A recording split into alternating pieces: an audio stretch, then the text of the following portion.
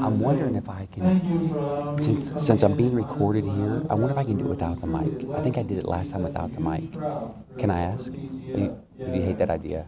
When I came here, I was wearing my Lexus hat, but I was told I can't stand up in front of you all without my hat or think something. I'm pleased to do I'm that. Gonna ask her. Yeah. Anyway, it's just cool that you Okay. always admired this. You know me, I'm loud enough. started it up and it's growing Okay, you guys let me know. Okay. Exponentially, so I really appreciate everybody's support. And uh, before we, I turn it over to Randy, I'd like to give the blessing too. Lord Jesus, thank you for gathering us here together so we can all Yes, uh, Jesus. celebrate you, honor you in everything that you provide for us. Lord. And I just want to, you know, bless this food and, and all the fellowship and friendship that we have together. And you uh, bless us with your holy powers and your God. That we Be wonderful. So Lord, I just ask that you do that in your holy name. Amen. Amen. Awesome. Good morning. Can you guys hear me without the microphone? How about you guys in the back? That's all right. That will that will help me. Uh, I like to not have to hold something, so that will be perfect. Hey, it's an honor for me to be back today. So thanks for coming out. Of course, a free lunch doesn't hurt either, right? Uh, but we are honored that you've come out to to be a part of this. I'm excited to be here tonight. Ramey told me they always show the uh, video. I'm like, you know what? I'll come out and, and, and do it live for the second shift. And so I'm excited to do that. I'm excited to be here for the first meeting of the year. And I'll tell you today what I want to do is I want to challenge you with something that I think will impact 2016 in a huge way for you. It, it's a small thing that when we get it right will make a big difference in our life. You know, I think that's sometimes a truth that we overlook. I think sometimes we think that in order to get a big difference, we got to do big things, right? Big things bring big differences. Big things bring big results. But but that's simply not the case. You know, let's think about it in this way. If you wanted to read through the Bible this year, that just seems like a, a daunting task. But yet, with 15 minutes of reading a day, you could read through the Bible. It's a small thing that gives you a big result, makes a big difference in the end. To pray with our spouse on a regular basis, that's intimidating. That's intimidating sometimes for me as a pastor. But you know what? The, the 30 second prayer before you go out the door can take that relationship and make it grow stronger, make it grow closer, make it really be something that, that you've always dreamed that it would be. It's a small thing that when we change it, when we get it right, makes a big difference. Just a couple weeks ago, I read an article from the uh, Harvard School of Medicine where they came out and said that seven minutes a day of low impact cardio or 50 minutes a week will expand your life expectancy. That's huge. Seven minutes of low impact. You guys are probably doing that walking from your station and back here. You know, it just really is something that's small that makes a big difference. This next one, one of our staff members experienced in his life. At the beginning of each year, our church does a 21 day prayer and fasting focus. And last year, he noticed that during this 21 days, his his body odor started to increase. And he's like, I mean, nobody loves their body odor to increase, but but at the same time, he's he's kind of proud because he's thinking, oh man, I'm detoxing, I'm getting all the junk out of my body during this time. That was until he noticed that the new deodorant he bought had a film or a cap over the top of it. It wasn't detox, it was the lack of deodorant, you know small thing that makes a big difference. So, what is the thing that I want to talk about today? It's our thoughts. Getting our thinking right, not just positive thinking. Please don't don't think that it, we're not talking about a self-help thing. We're talking about biblical thinking. When we get that right, it impacts so many things in our life. Let, let, let me just kind of play out this scenario. Our thoughts impact our attitude, right? Our attitude is seen in our words. Our words become our actions, our actions become our habits, our habits become our character, right? And our character ultimately becomes our destiny. So, in a very real way, in a, in a real equation, you could say that our thoughts equal our destiny. That's how important our thoughts are. You know, the Bible put it into one sentence in Proverbs. You have a handout there, and you don't have to fill anything in. I've filled everything in for you, but it'll be easy to follow along. But Proverbs 23, verse 7 says this For as a man thinks in his heart, so he is. So true, because our thoughts lead to our attitude, attitude to words, words to actions, actions to habits, habits to character, and character to destiny. I'll tell you, I want to kind of just rephrase that to see how it's lived out in our life. And again, something that I put on your notes, but this is the key thought that I want you to take is our life will always move in the direction of our strongest thoughts. Your life will always move in the direction of your strongest thoughts. It really is a, a keystone habit. I don't know if you're familiar with a keystone habit. There's actually a book called The, the, the Key of Habit. And a keystone habit is this it's a, it's a habit that produces other habits in your life. So, a good keystone habit is a good habit that produces other good things in your life. A bad habit, bad keystone habit, produces bad things in your life. Right thinking is a keystone habit that when we get it right, man, it just overflows attitudes, words, actions, right? Habits, character, ultimately into our destiny.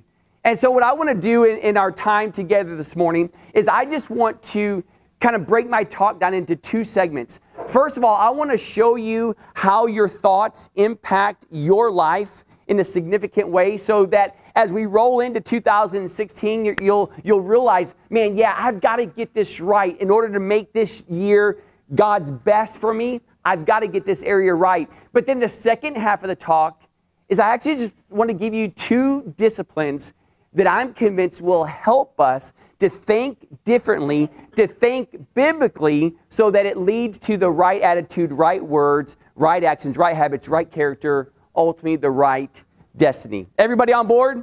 Yeah. All right, so let me show you the, the impact of our thoughts. There on your handout, I put our nature will follow our strongest thoughts. When I, when I speak to, to nature, I'm speaking about being positive or negative. I'm talking about being selfish or selfless. I'm talking about being a life giving person or a life taking person, somebody that is full of joy or somebody that nobody wants to be around, the victor or the victim. Your nature, my nature, will follow our greatest thoughts. And so we've got to recognize that so that we can get this area right in our life. I'll tell you, the, the Apostle Paul, I think, does a great job of, of helping us to see the significance of how our nature will follow our strongest thoughts and the, the, the importance to making sure that we get it right. Look at that passage there, Second Corinthians chapter 11. This is Paul speaking. He says, Five different times the Jews gave me 39 lashes. Three times I was beaten with a rod. Once I was stoned, not recreationally either. Three times I was shipwrecked. Once I spent a whole night and a day adrift at sea. I traveled for many weary miles. I faced danger from flooded rivers and from robbers. I faced danger from my own people, the Jews, as well as from the Gentiles. I have faced danger in the city, in the desert, and on the stormy seas. And I have faced danger from men who claim to be Christians but are not I have lived with weariness and pain and sleepless nights. Often I have been hungry and thirsty and have gone without food. I have shivered with cold without enough clothing to keep me warm. I mean, Paul really experienced some terrible things, but yet when we look at his character, man, he is somebody who is is is positive. He's somebody who is encouraged. He's somebody who has tremendous peace in his life. He, he never felt like a, a victim. Man, he felt victorious. You think, how can somebody who experienced all of that have that perspective? Well, I'll, I'll tell you, obviously, I think it's the presence of God in his life. I think he probably surrounded himself with some great people who were positive and encouraging. But I'll tell you, one of the most significant things I believe for Paul is that his thoughts were right. His thoughts were godly. His thoughts turned to God's word, leaned on God's word. He, he, he thought right, And as a result, his attitude was right, his words were right, his actions, his habits, his character, his destiny. Our nature will follow our strongest thoughts. Let's go to the next one. It's not just our nature, but also our character will follow our strongest thoughts. And here I'm talking about our moral character. If you're if you are taking notes or writing something down, that, that, that's what I'm talking about. I'm talking about being godly or ungodly, pure or impure, right or wrong. Our, our character is going to follow our strongest thoughts. Let me give you a, a biblical example of that. In the Old Testament, remember the, the story where Joseph is sold into slavery by his brothers. The Bible tells us that, that Joseph is the baby of the family. I'm the baby, and man, us babies, we do not apologize for being the favorite. You know, we just, we're thankful for that. So he's the favorite of the family, and because of that, his brothers are jealous. His brothers hate him. And ultimately, the Bible tells us that they, they plot to kill him. Well, then they change their mind and say, you know what, let's not kill him, but let's sell him into slavery. Well, let me tell you, where did that come from? That, that wasn't just a decision that they made at the spur of the moment. It all started with their thinking. Man, they, they, they thought jealously of him. They thought in hateful ways towards him. And from that, their words, I'm sure, followed, but we definitely know that their actions followed. Why? Because our character will follow our strongest thoughts. Now, now step back and look at Joseph, the guy who gets sold into slavery not a very good deal. In fact, the, the, the, Bible even tells us that at one point Potiphar's wife tried to seduce him, but yet the Bible says that, that Joseph ran away from her. He didn't want to be anywhere near her. You say, how, how could he do that? It's because of his thinking. Man, Joseph was, was, was a godly man. He thought the right thoughts, godly thoughts, pure thoughts. And because of that, it truly impacted his character, ultimately his destiny. The same is true for you and me. Our character will follow our strongest thoughts. Again, that's why I'm saying that if 2016 is really going to be a great year for us, we've got to get this area right. For as a man thinks in his heart, so he is. It's not about positive thinking, it's not about self help, it's about aligning our thinking with God's word. Let, let me give you two more areas, and I I probably need to speed up. You guys tell me if I'm going too long. The, the next one is this is our relationships. Our relationships will follow our strongest thoughts. Our close relationships, like with our spouse and our children, but but but also just the the workplace relationships, even relationships that we have in the community, they will follow our strongest thoughts because here's the reason is because our our value that we place on people will follow the way that we think about them. Our words that we use with people will follow the way that we think about them. Our interaction with people will follow the way that we think about them. Now, now put that into context with your spouse. Put that into context with your kids. See, so the wrong thoughts ultimately can lead to damage, to destruction, to hurtful relationships. But the right thoughts can lead to taking that relationship to the next level, can make it greater, can make it stronger. That, that's, so, that's so significant. I, I often tell people, because I, I, I believe this with all of my heart, the most important conversation you have in the day, next to our time with God, is the conversation you have with yourself. What's rolling around in here? Because it's that significant, because it's going to impact your nature, whether you're that positive, negative life giving, life taking, joyful person or person that nobody wants to be around. It's going to impact your character godly, ungodly, pure, impure, right, wrong. It's also going to impact your relationships. I'll tell you, you want to see your relationships go to the next level this year, begin to change the way you think towards the people around you. And then the, the, the last area where it really impacts us is our faith will follow our strongest thoughts. Our, our thoughts influence our faith. Our, our, our thoughts influence what we believe about God. Our thoughts influence what we believe we can really experience, the freedom we can experience, the, the, the, the power we can experience. And because of that, it, it, it ultimately, my thoughts influence my relationship and my experience with Jesus Christ. That's the, the power, the significance of our thoughts. By, by no means is that a complete list, but it's a significant list. Our nature, our character, our relationships, our faith, we've got to get this area right. So on your handout, I put on there what I call a thought audit. I want you to think about what you're thinking about. So on a scale of, of 1 to 10, are you a worried, fearful person? Or do you tend to be a person that's full of, of, of peace and faith? The second one, are you a, a negative person, critical person? Or are you a positive? That may be one like your neighbor might need to answer for you. You know, that's we might get a better a better answer, or your spouse might need to answer that for you. The third one, critical or praising. That's that's a that's a significant one to me. Critical versus praising. I, I, I tell my, my staff at the church that I've got this disease. It's really not a disease, but what I do is I, I, I can walk into a room and there could be a hundred right things and one wrong. And I'm going to see the, the one wrong. It's just, it's part of my nature. But I tell you, I want to change that because I don't want to be that negative person. I don't want to be that life taking person. I mean, I want my nature to be a godly nature. I want my nature to be a nature that builds people up, that encourages people, that helps people. And so I want to change my thinking in that way. Do you see the worst or do you see the best?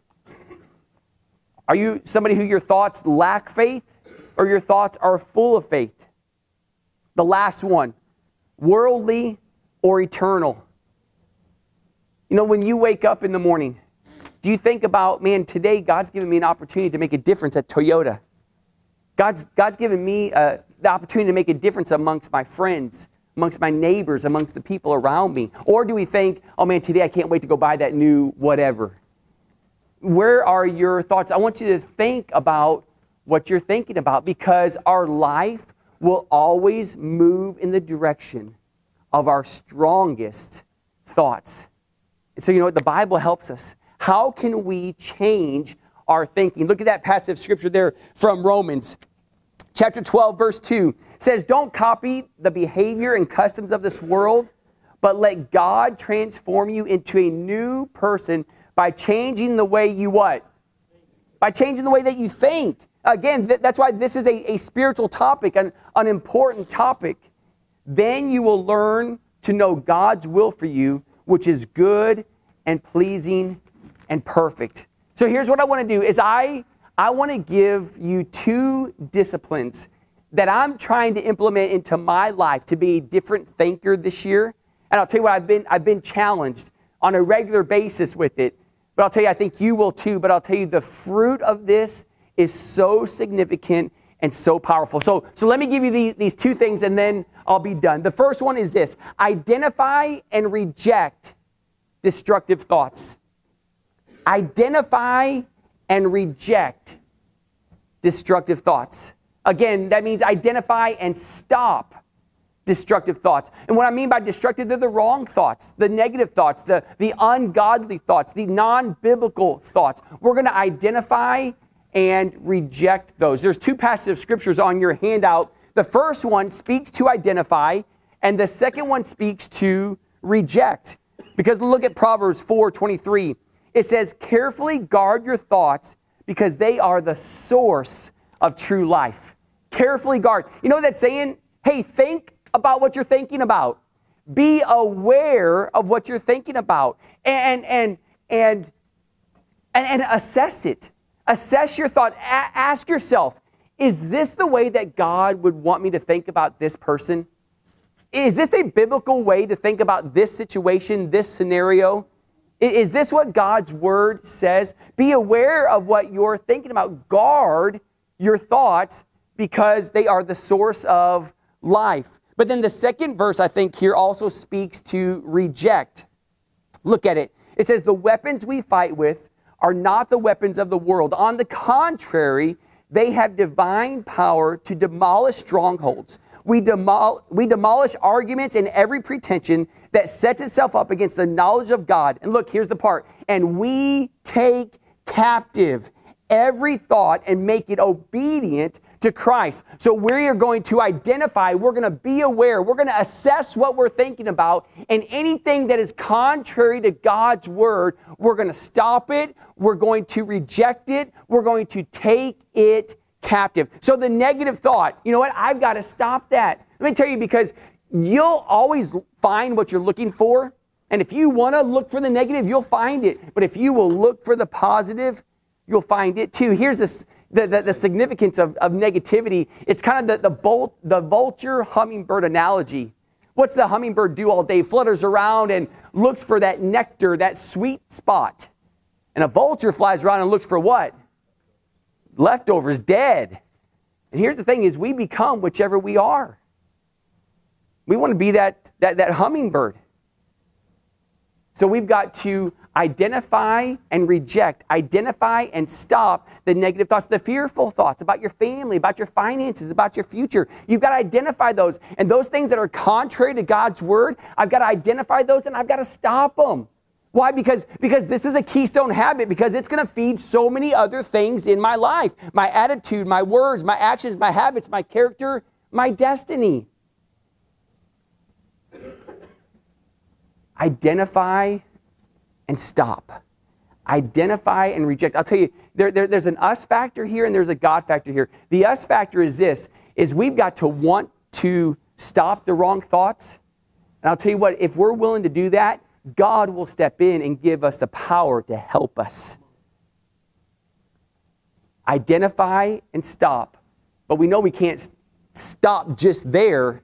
The next point is this is we've got to then replace destructive thoughts with God's word, right? So I'm going to identify them. I'm going to stop them. Well, how, how do I stop them? I can't just stop it and, and, my mind be empty. No, I'm going to identify them and stop them, identify them and reject it. And then I'm going to replace them with what God's word does say.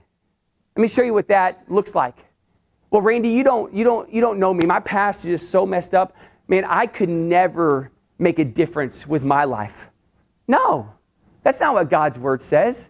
God's word says that as a Christ follower, you are a brand new person. You are his masterpiece, created in Christ Jesus to do incredible things. It doesn't matter what your past has been, it doesn't matter how ugly it's been, it doesn't matter how colorful it's been. You are a brand new person in Christ Jesus. Well, yeah, but but but everything bad always happens to me. I'm, I'm always the one that gets the short end of, of, of the stick. You know what? Jesus did say that in this world you will have trouble. But he went on and says, But take heart, for I have overcome this world. And better yet, I take all things and I work them together for the good of those who love me, which I do, and who are called according to my purpose, which I am. Yeah, but but I've got this hang up. I've got this this addiction in my life, this shortcoming in my life. I, I can't remember life without it. I, am always going to, to, to be like this. No. The Bible says the same power that rose Jesus Christ from the dead lives in you. You are more than a conqueror. You can be victorious. That's who you are. Yeah, but my marriage, you don't know how my marriage has been. And it's just, it's been horrible. My, my marriage is in an impossible place, perfect. Because my Bible says that God's the God that takes the impossible and makes it possible. He's the God that steps in and takes something that doesn't have a way and he makes a way. He turns the deserts into the streams. He turns the dry lands into flood that's good and powerful and awesome.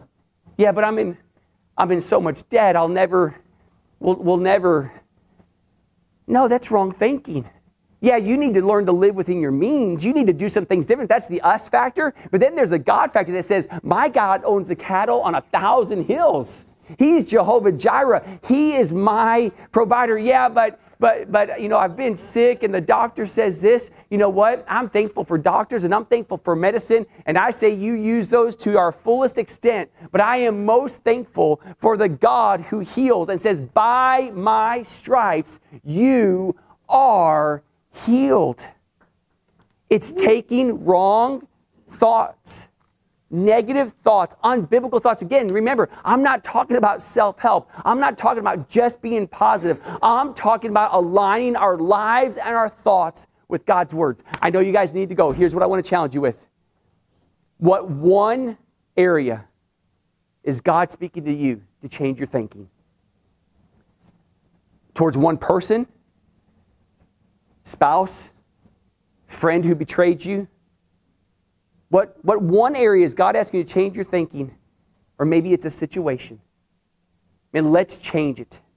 Let's make sure our thoughts align with God's word because it's that keystone habit. And when we get this right, man, it will make 2016 an incredible year. Let me pray for you. Jesus, I thank you for every person that's here, Lord, and I just pray in Jesus' name that you would help us all to identify and reject destructive and wrong thoughts. And God, give us the power to replace them with your word, with your promises, and your truths. Lord, bless every person, bless their marriage, bless their home. God, do incredible things in them this year. In the powerful name of Jesus Christ, the strong Son of God, we pray. Amen. Guys, thanks.